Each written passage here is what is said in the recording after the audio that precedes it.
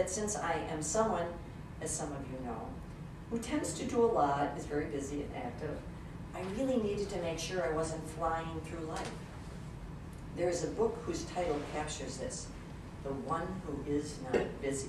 If you've not read it, look it up. I needed to stop, to be present, and in fact, to just be rather than do all the time. Meditation provides me with that simplicity, with that being. I'm also a moderately complicated person, so the simplicity of this form of meditation was also appealing.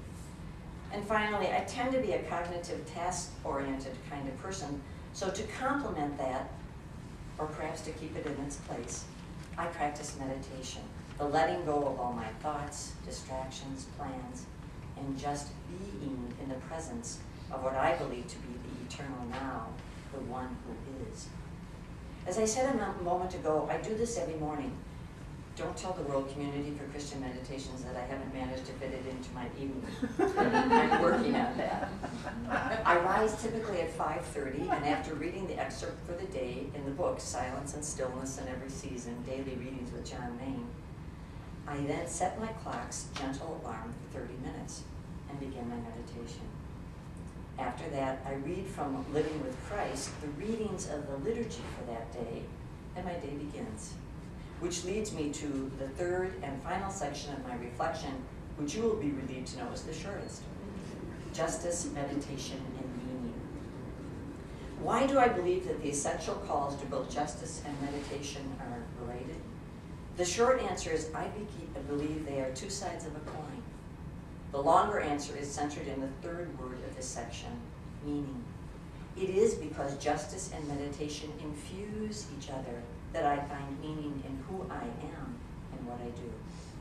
For me, to do justice without being rooted in prayer in general and in meditation in particular is a formula for self-righteousness to which I am, alas, prone.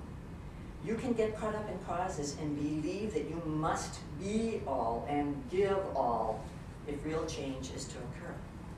I need to root myself each day and many times during that day, those mini meditations, in the eternal now, if I am to avoid what some people call the Messiah complex, that mistaken notion that one individual is all that matters, rather than that the work we do in groups is what really matters.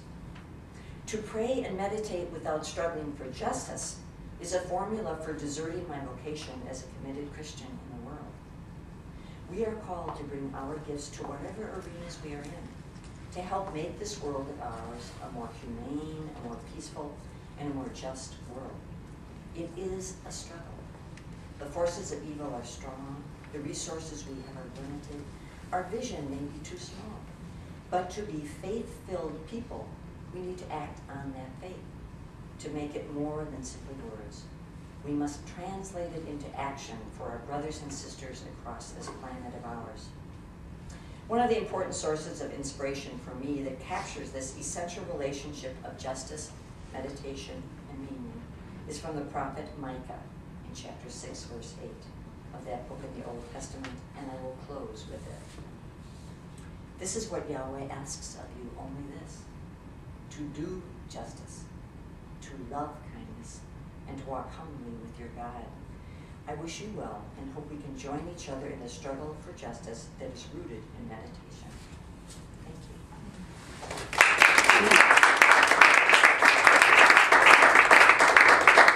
This is the beginning part of the conversation, so it's your turns to uh, say. So maybe if you have a comment, a question, if you could just say your name so everybody can kind of get to know. Carol. My name is Carol Sargent, and I have seen you in action in social justice settings. And one of the uh, questions that I have involves the connection of meditation to social justice because you can meditate and they're still hungry.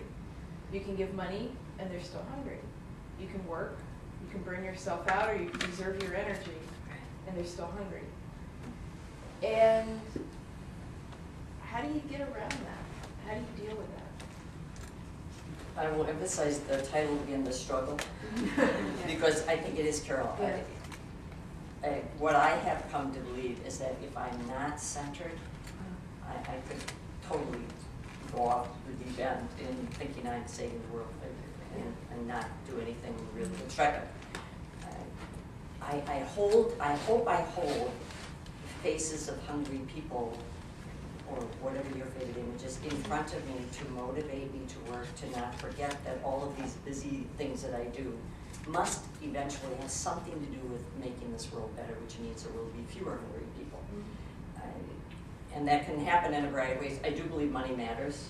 Uh, Those of you who know us at the center know that we've been collecting money for Haiti, for example. We've uh, collected over forty-five thousand dollars, which are, is being given to three different organizations. I do believe money matters. I believe time matters, that we have to tithe if you want some time so that we're actively engaged. I am an educator, as you know, Carol, so for me, it's building structures that allow people to have opportunities to get off the hilltop, for example, or out of this country, for example, I mean, participating in some with you. There, for me, there is no one answer. One of the reasons I haven't figured out how to get my meditation in the evening is honestly, I try to do the exam and, I try to reflect on my day and think about what, what did happen, to thank God for the good things, to wonder what might I've done differently or better, and then to remember the purposes for which it is. I really am prone to a messiah complex. I hope the tape is off now. I don't want to say this again.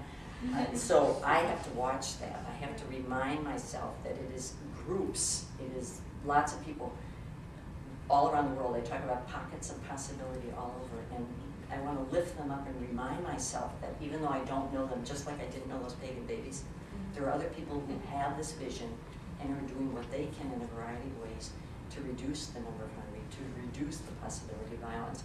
And that my little spark, I hope, is part of a larger flame.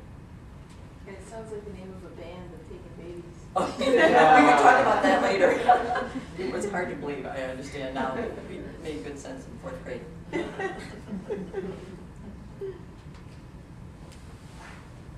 thoughts about your own experiences and how you relate justice and meditation?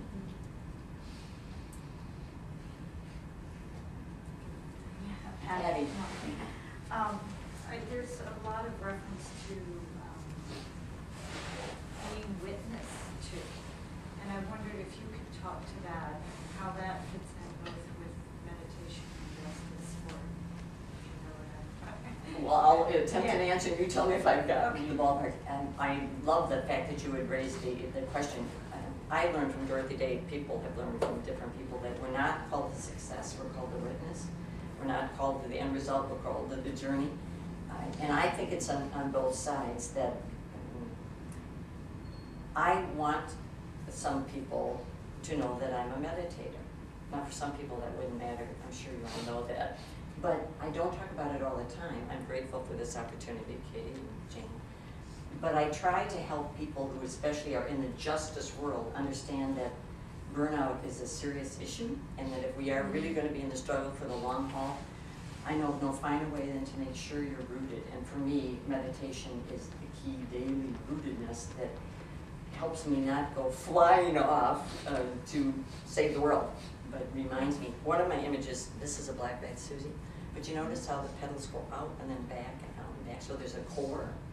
It- To me, that, the meditation is the core, and you go out to do the works of justice, and hopefully we're building something wonderful.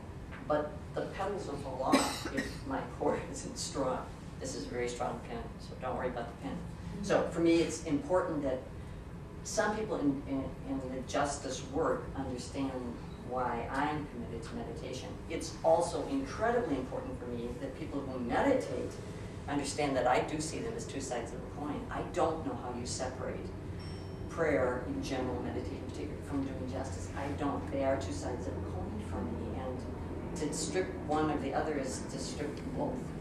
So now, the only caution I have about witness is it can feed into my, I already showed you this, Messiah complex, you know, isn't she cool? You know, Gee, she does all these great things. So you, I, I downplay that part of the witness and focus instead about, it's not the success part, it's that, that we are in the journey. Uh, one of my favorite, I teach justice and peace studies here at Georgetown. One of my favorite uh, heroes, mentors, symbolically in this field is